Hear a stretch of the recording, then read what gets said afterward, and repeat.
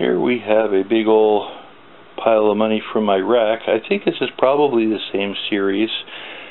And uh, one thing that Iraq has done in this series that I think is interesting is not only are the different denominations a different color, but they're also a different size. You know, like they'll get bigger and bigger and bigger and bigger. You know what I mean? And uh, that just makes it easier to tell them apart, which I think is a good idea, and a lot more uh, countries need to do that. This here is 25 dinars. Um, not really sure what this complex is. An interesting complex in the background. hmm, excuse me. You have um, Saddam there in the watermark as well. And, uh, excuse me again. Um, looks like some kind of ancient device right there. This is a half of a dinar, um, so it doesn't really, it's small, it doesn't really have any um, features on it. mm. Alrighty then, we have this guy here, also Saddam, and you got on the back of it a uh, rock dome, I guess that's the rock dome, nifty. Over here you have uh, a lovely landscape shot. Looks like a waterfall going through the mountains there. And on the back you have a complex, which is nifty. This one here kind of looks like an ancient medallion though, doesn't it? Pretty neat. That's probably a, uh, it's either a mosque or an important uh, government building. I'm leaning towards mosque probably.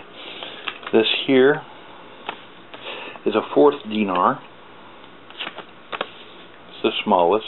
It's basically a uh, a fraction note, which means a fourth would be like a quarter.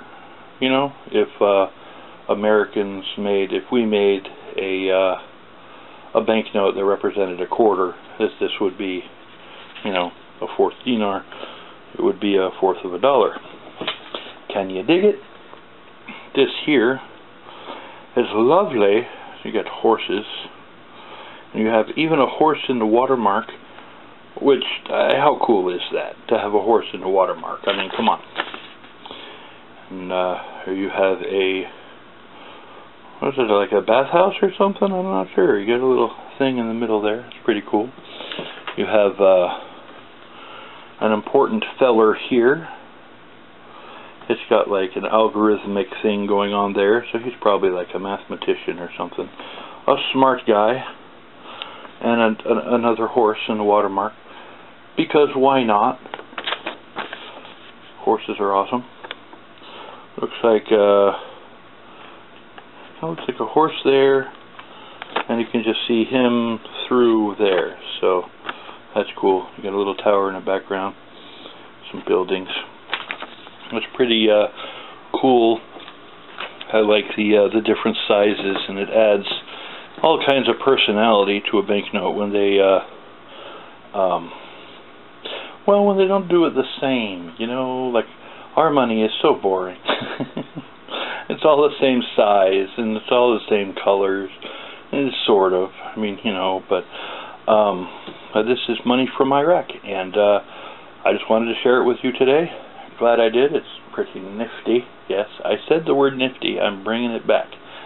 Uh, and like always, if you have wisdom or insight on um, banknotes from Iraq, please let me know in the comment section below.